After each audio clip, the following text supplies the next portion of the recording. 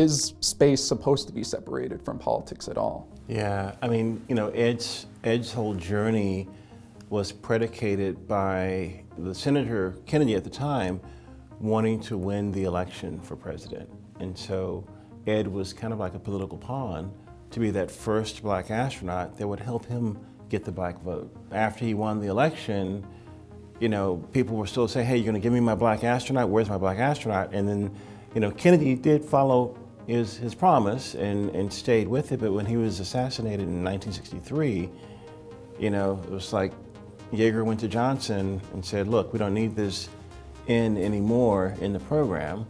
And, uh, you know, and Ed basically re retired and was kind of kicked out, kind of pushed out of being, you know, the first black astronaut. And so I think more people need to know about this history, this journey. But Ed set the foundation for me, for Guy Bluford, for Mae Jemison, for all these people.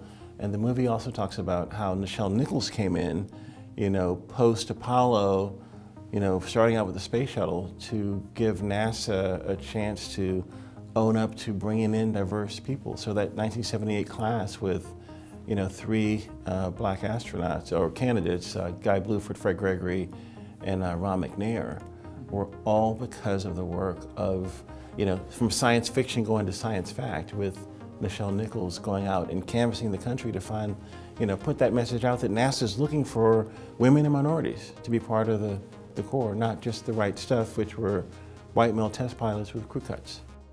Yeah, the space race is going to uh, premiere on National Geographic Channel February the 12th. And then on the 13th, it'll be on Hulu and Disney Plus. It's a great journey, um, and it tells you what's possible when people believe in you and you keep the legacy going strong. Be flying in space. I'm smitten that you're up there doing all these wonderful things. Black history is American history.